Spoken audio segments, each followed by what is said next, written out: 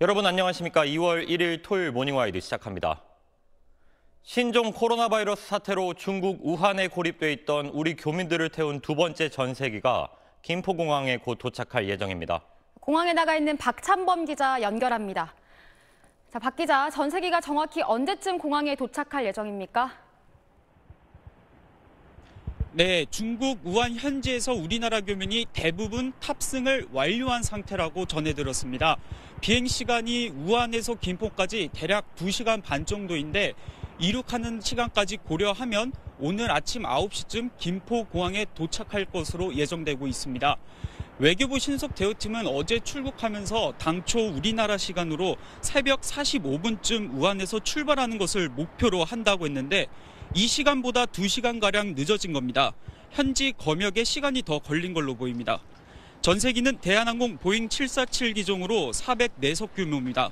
앞서 첫 번째 운행 때 사용된 전세기와 동일합니다.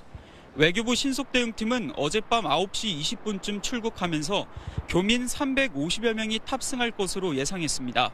어제 이미 선발대로 우한 교민 368명이 국내에 들어온 상황인데 신속 대응팀은 우한에서 귀국을 희망하는 추가 인원이 더 있으면 항공편 추가를 검토해 보겠다는 입장도 밝혔습니다. 박 기자, 교민들은 이제 어디로 어떻게 이동하게 됩니까? 네, 교민들은 앞선 경우처럼 버스를 타고 충남 아산 경찰 인재 개발원이나 아니면 충북 진천의 공무원 인재 개발원으로 이동하게 되는데요. 다만 그 전에 김포공항에 도착해서 교민들의 발열 상태나 건강 상태를 먼저 확인받게 됩니다.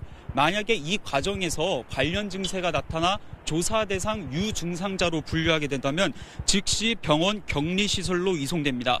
나머지 인원은 예정대로 아산과 진천으로 이동한 뒤 14일간 외부와의 접촉을 차단한 채 격리됩니다. 지금까지 김포공항에서 SBS 박찬범입니다.